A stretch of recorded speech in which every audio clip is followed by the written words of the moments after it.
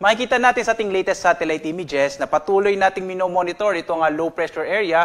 Huli natin itong namatan 280 kilometers southeast ng Davao City sa bahaging ito naman ng Mindanao. Sa ngayon, no, base sa pinakuling datos natin, maliit pa rin yung tsansa na ito ay maging bagyo. Mas nakikita nga natin yung posibilidad na ito ay malusaw sa mga susunod na araw. But again, posible pa rin magbago yun, kaya patuloy pa rin nating imo-monitor itong low pressure area na ito.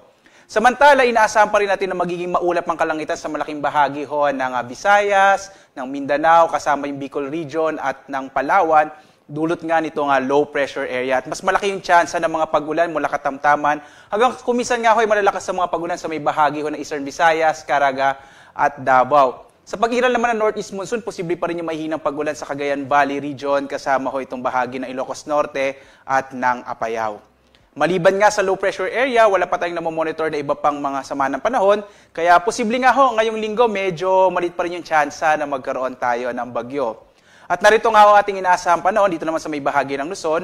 Makikita ho natin, kagaya ng binanggit ko, itong bahagi ng Palawan, Bicol Region, inaasahan ho natin na magiging maulap yung kalangitan at malaki yung tsansa pa rin ng mga pag-ulan, dulot nga nitong uh, trap at kasama yung ng low pressure area o extension ho ng low pressure area. Samantalang may mahinang pagulan naman tayo dito sa Ilocos Norte, Apayao at bahagi ho ng Cagayan Valley. Uh, dulot naman din ho yan ng uh, northeast monsoon o hanging amihan. Dito sa Kamay Nilaan at sa nalalabing bahagi ho ng Luzon, inaasahan pa rin natin na mas maliwalas sa panahon pero posible pa rin yung mga isolated o pulo-pulong mahinang pagulan. Medyo malit po yung tsansa na magkaroon naman ng mga pagkidlat at pagkulog. Agwat nga ang temperatura natin sa lawag nasa 21 to 30, sa Baguio 14 to 24, sa Tugigaraw nasa 21 to 31, habang sa Metro Manila 22 to 32, malamig pa rin sa Tagaytay no, nasa 19 to 29 degrees Celsius, habang sa Legazpi 25 to 30, dito sa Calayan Islands, 25 to 31, habang sa Puerto Princesa, 24 to 31 degrees Celsius.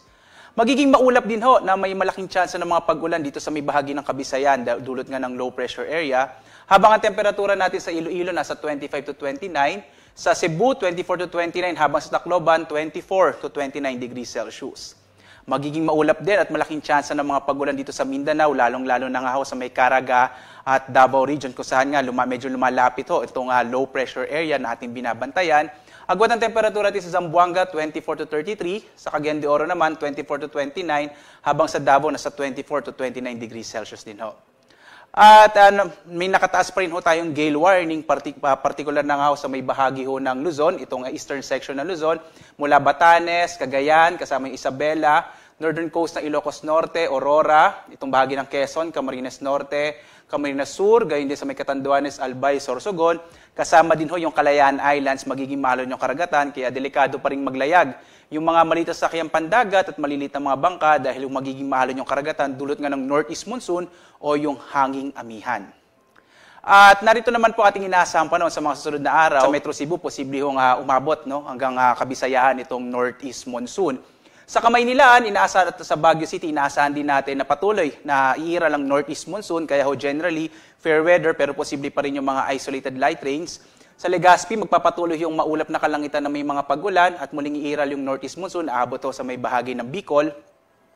Sa Metro Cebu naman, bandang araw ng biyernes, pwede maging maulap pa rin ang kalangitan. Habang sa Metro Davao, sa mga susunod na araw, inaasahan natin na mas magiging maaliwalas yung panahon. Kasi nga, ina- uh, inaasahan ho natin posible hong malusaw yung uh, low pressure area. Kaya patuloy ho kayo mag-monitor sa magiging lagay nitong uh, ah, LPA na to dito sa pag-asa. Agwat ang temperatura sa Metro Manila ay mula ho 22 hanggang 31, sa Baguio naman nasa 13 to 24, habang sa Legazpi nasa 24 to 30 degrees Celsius.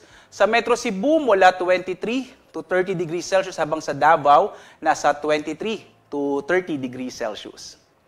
Ang araw naman natin ay sisikat mamayang 6.25 ng umaga at ito'y lulubog, ganap na 5.51 ng hapon.